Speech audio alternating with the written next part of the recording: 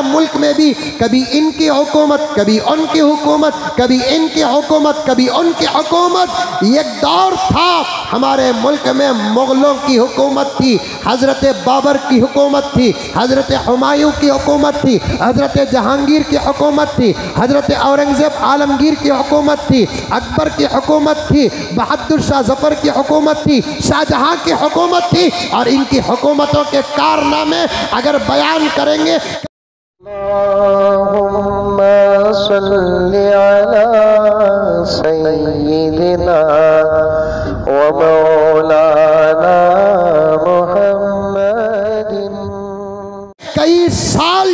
जुमे के हमारे और आपके खर्च हो जाएँगे। लेकिन किसी ने अपने बयान में कहा कि हिंदुस्तान में अंग्रेज़ों का कब्ज़ा मुसलमान हुकूमतों की गफलत का नतीजा था। ये जुल्म है, ये झूठ है, ये इल्ज़ाम है अंग्रेज़ जब जहांगीर की हुकूमत में हिंदुस्तान आया था, तिजारत के गर्ज से आया था, जब तिजारत ज़्यादा होने लगी तो तिजारती मुआहदा तय हुआ और एक मुल्क का दूसरे मुल्क से तिजारती मुआहदे पहले ही नहीं, अब भी तय होते हैं। यहाँ का पीएम कहीं और जाता है, मुल्क देखकर वापस नहीं आता, कोई बिज़नेस का मुआहदा करके आता है, वहाँ का कोई मुल्क का पीएम या प्रेसिडेंट यहाँ आता है तो सिर्फ़ मुल्क फिरने के लिए नहीं आता। कुछ तो मुआहदे तय होते हैं। वैसे ही जहांगीर के दौर में जब अंग्रेज़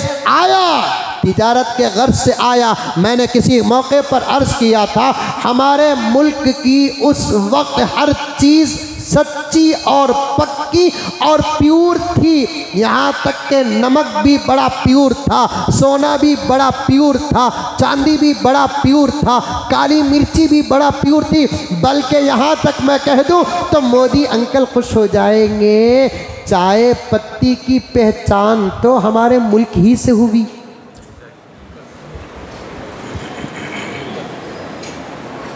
चाय का पत्ता रेशम, कोयला, गरम मसाला,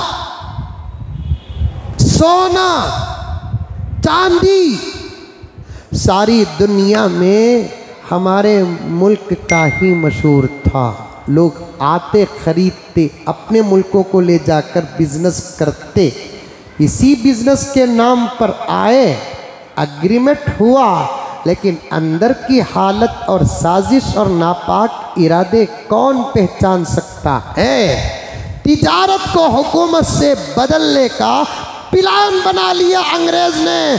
मुल्क की माली हालत को देखकर लेकिन वो पिलान का इजहार कर ना सका। इसलिए कि जहांगीर के बाद जब हज़रत औरंगज़ेब का दौर आया, हज़रत औरंगज़ेब इस मुल्क के बड़े मज़बूत बादशाह थे। इल्म में भी मज़बूत थे अमल में भी मज़बूत थे, ताकत में भी मज़बूत थे, हुकूमत में भी मज़बूत थे, अमानत में भी मज़बूत थे। अमानत का ये हाल था, मुल्क को इतनी तरक्की से माला माल किया कि हज़रत औरंगज़ेब के ज़माने में मुल्क की जीडीपी जो थी ना उससे पहले मुल्क की जीडीपी थी ना आज तक मुल्क की जीडीपी मुल्क की तरक्की की। औरंगज़ेब रहमतुल्लाह अलैह के दौर में मुल्क की जीडीपी नंबर वन थी नंबर वन। उसकी वजह क्या? कि औरंगज़ेब मुल्क का पैसा तनखे के नाम पर भी नहीं उठाते थे।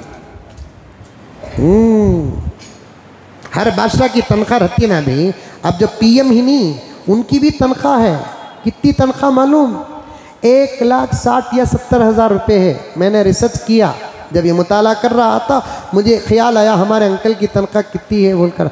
तो पता चला कि एक लाख साठ हज़ार रुपये की सत्तर हज़ार रुपये की तनख्वाह। एक लाख साठ या सत्तर हज़ार रुपये तनख्वाह ले को रोज़ एक वास्कोट बदल रही ना, ये पैसा कहाँ का? हाँ। रोज एक ड्रेस बदल रही ना ये तनख्वाह, ये पैसा कहाँ का? इन बादशाहों को आज माइकों के सामने स्टेजों में बैठकर या खड़े होकर वाहियात बकते हैं, उन बादशाहों की तारीख हकीकत हमारे पास है। हज़रत औरंगज़ेब तो तनखे के नाम पर भी मुल्क का पैसा नहीं लिए। टोपियाँ बुनते थे, कुरान लिखते थे। टोपियाँ बुनते थे, कुरान लिखते थे। अपने खादिम के पास देकर बेचते थे, वो भी खादिम को बोलते थे। नॉर्मल आवाज़ लगाकर बेच, टोपियाँ ले लो, टोपियाँ ले लो, कुरान पाक ले लो, कुरान पाक ले लो। ये नहीं बोलना, आलमगीर के हाथ से लिखा हुआ कुरान, ये नहीं कहना। आलमगीर के हाथों से बुनी हुई टोपी। लोग मोहब्बत और अकीदत में मुमकिन है पैसा ज़्यादा देकर लेंगे। मोहब्बत और अकीदत में ज़्यादा पैसा भी मेरे नज़दीक नाजायज़ है। अब गुलाम को कहते, दोनों का पैसा अलग करके ला। दोनों के पैसे अलग करके लाया जाता और उससे अपना और अपनी बीवी बच्चों का गुजारा करते, जब मौत का वक्त आया, मौत का वक्त आया अरकान सल्तनत, शूरा और तमाम जिम्मेदारों को, वारिसीन को बुलाकर हज़रत औरंगज़ेब अलैह ने कहा, मेरे मौत का वक्त करीब आ चुका है, आसार नज़र आ रहे हैं, मरना यकीनी है दुनिया की कोई ताकत किसी को बचा नहीं सकती। मुल्क को अच्छे तरीके से संभालना।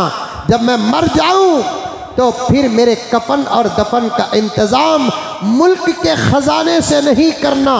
ये कुरान का बचत पैसा है। ये टोपियों के नफ़े का बचत पैसा है।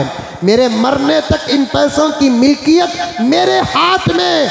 मेरे मरने के बाद कुरान का पैसा सदका कर देना। मेरे कफन दफन का पैसा मेरी टोपियों के नफ़े के पैसों से खर्च करना।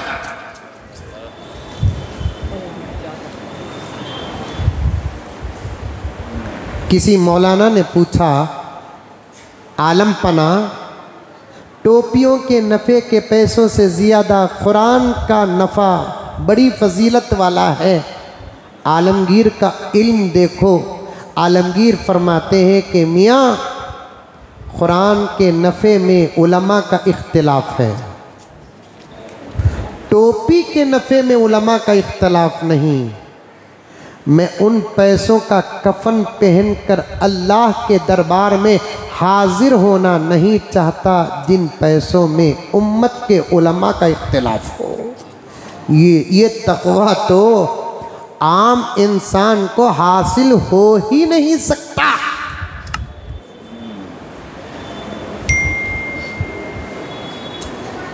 ऐसी कोशिशें, तकवे, तहारत और ऐसी शहादतें, कुर्बानियों के बाद हमारा मुल्क आज़ाद हुआ तो हमने आज़ादी की खुशी में क्या क्या नहीं कर रहे हैं आज? ये इंसानियत है। ये इंसानियत है। अरे हम मुसलमान हैं तो हमको खुशी भी इस्लाम के मुताबिक करना है, गम भी इस्लाम के मुताबिक करना है। लेकिन कल के बारे में तो मैं सुनकर परेशान हो गया, चाहे बेंगलोर हो, कर्नाटक हो, तमिलनाडु हो, कि आंध्रा हो, कि तेलंगाना हो, पूरे मुल्क में खुशी का एक माहौल तो ज़रूर था। लेकिन खुशी के अंदर गर्क और डूब कर मुसलमानों ने शरीयत के बहुत सारे अहकाम का जनाजा तक उठाया। बचो खुशी के मौके पर, गुनाहों से बचो। अल्लाह ताला हम तमाम को अमल की तौफीक अता